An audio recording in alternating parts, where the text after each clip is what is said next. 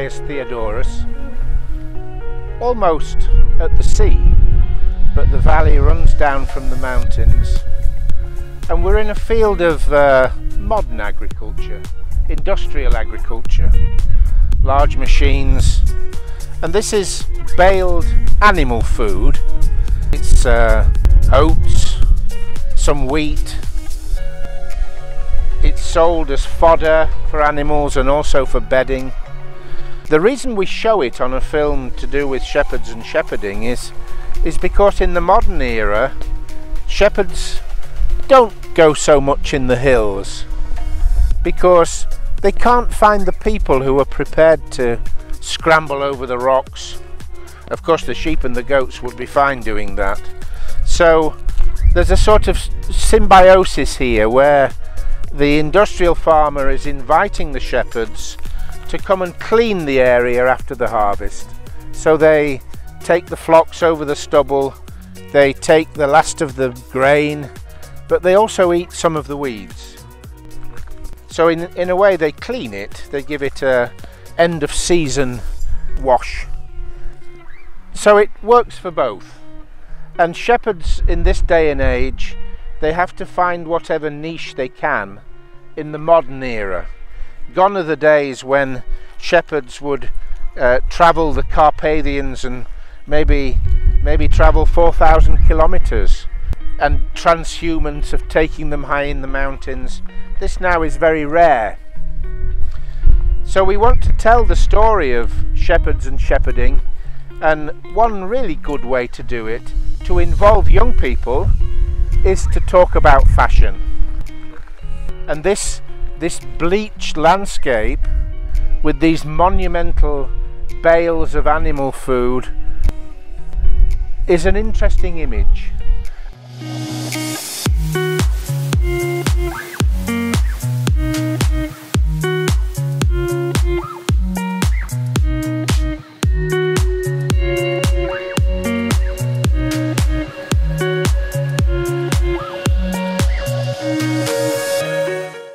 Shepherds in this landscape, this summer landscape, would be wearing masks at certain times of the year because of the botfly. The botfly actually squirts its little maggots in your eye. It's looking to do it to sheep, not to people really.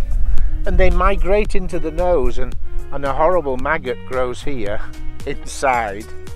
Uh, it's usually the end of the sheep, quite a long painful death. So the shepherds had a mask uh, which they wore here and they put over their faces when they heard the buzzing of the fly. And we've taken this fact and uh, glamorized it a bit and we have a series of masks that takes the theme a little bit further. And to see the shepherd outfits with these rather incongruous and interesting masks for us is a good idea.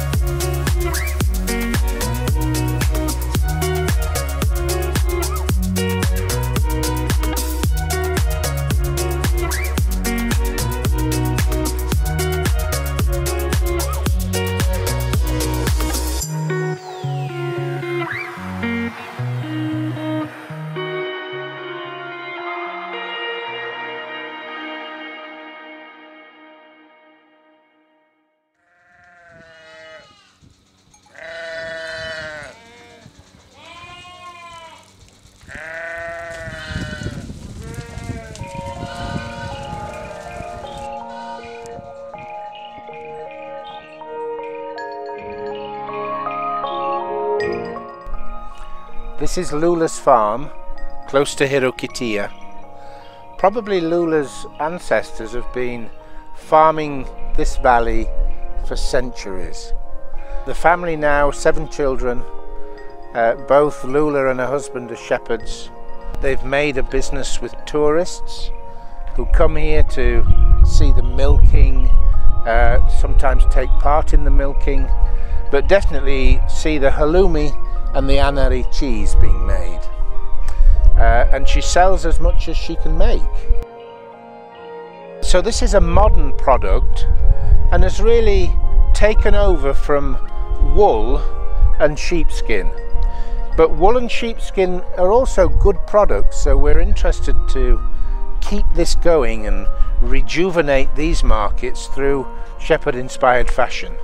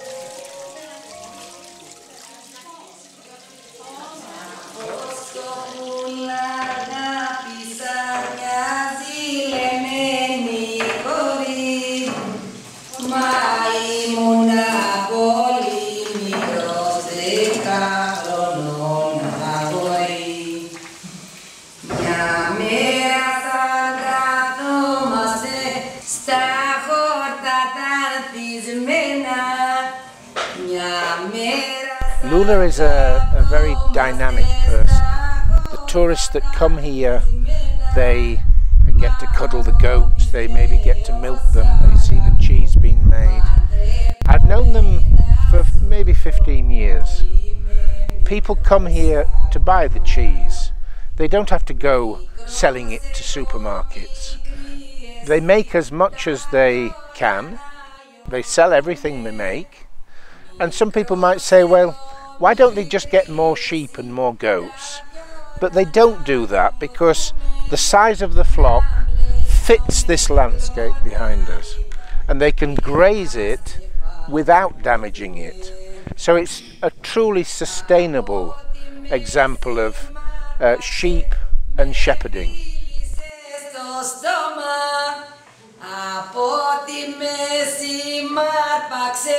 Με φίλησε στο στόμα και μου πεμάνα στενά μου γιατί σ' αγάπη στον καημό τρελαίνομαι για σένα.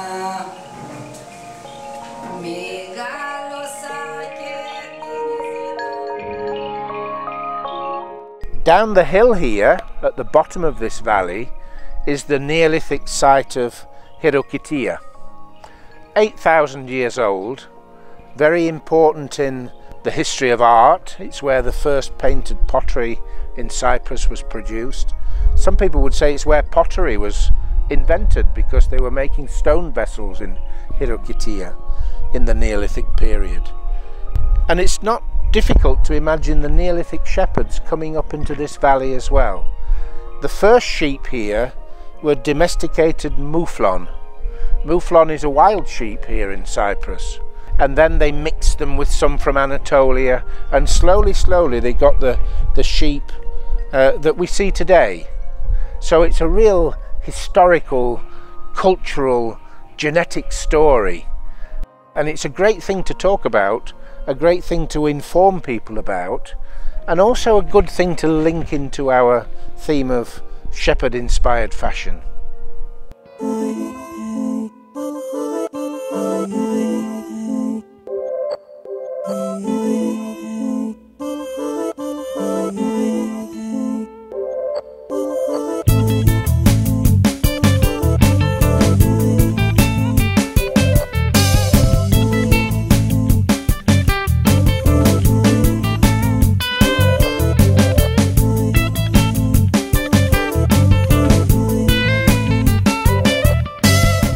Is St Spiridon's Chapel, uh, close to Lula's farm, also close to Kato Drys. Uh, and Spiridon was a, a shepherd. So for the shepherd inspired fashion we, we look at his icons and especially this hat. So this hat was made from a roll of grass. He was a humble man and he was a good man. And I think this says something about shepherds. Uh, there are officially about 90 Orthodox saints who were shepherds. And of course, Jesus Christ is referred very often to as uh, the Good Shepherd. So, this is a link with the past. People aren't so religious these days, but uh, it's a historical fact, and the importance of shepherds was very great. For 90 of them to become saints, they were pretty special people. And of course, there are others in literature and the uh, patrimony of Greek literature is totally full of, of shepherds. So in history, shepherds were important uh, in literature, but also to bring it to the modern day with the Booker Prize winner Paulo Coelho, who tells the tale of a shepherd crossing over to North Africa and wandering through the desert, finding his Bedouin love. is a really great romantic tale. And this is all part of what we want to promote about shepherds. The romance, the literature, their place in this ancient landscape, which is no longer likely to continue. So this is why we are getting involved. It's so sustainable that we want it to carry on. It's a great example of the four pillars of sustainability. Cultural, social, environmental, and through a place like Lula's farm, economical as well.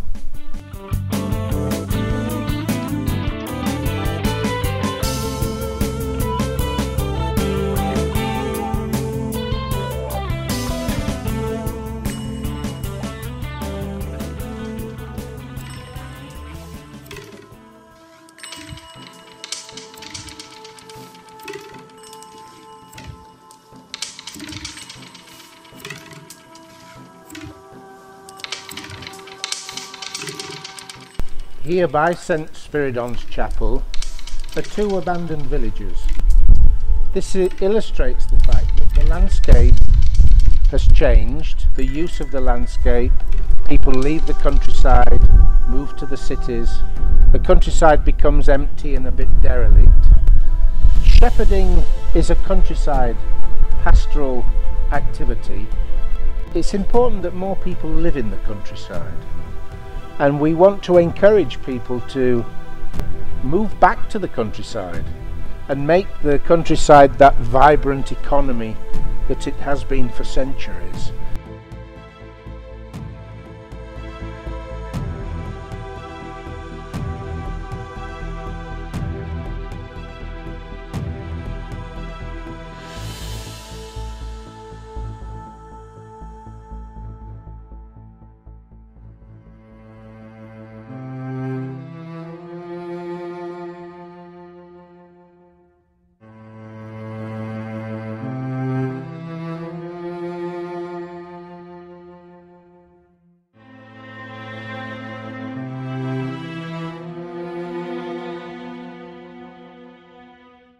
Here we are in beautiful Kato Drys, a mountain village, Larnaca district of Cyprus.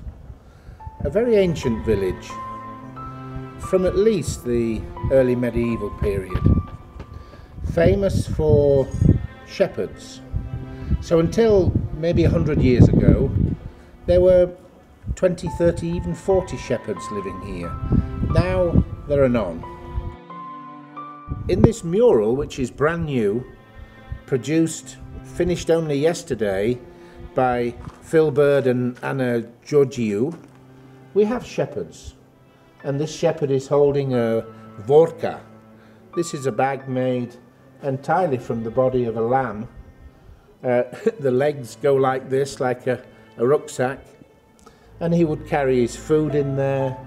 This becomes a fashionable item now amongst young Cypriots. It's somehow an example of cultural sustainability. We're interested in shepherd inspired fashion because shepherding as a lifestyle, people need to be made aware of it. And the modern person is becoming a bit like a nomad, and we, we talk about the nomad lifestyle, but also the actual physical clothes of a shepherd with layering, use of sustainable wool, sustainable leather, that landscape, windswept, free look is something that designers all over the world are interested in. The idea of shepherd inspired fashion came from the stylist of Vivienne Westwood, uh, a guy called uh, Stevie Westgarth. And he approached us uh, five years ago now, and since then we've been working on the theme all over Europe, but especially here in Cyprus, where shepherds are still so important, but more and more being confined in little industrial units rather than wandering over this beautiful landscape.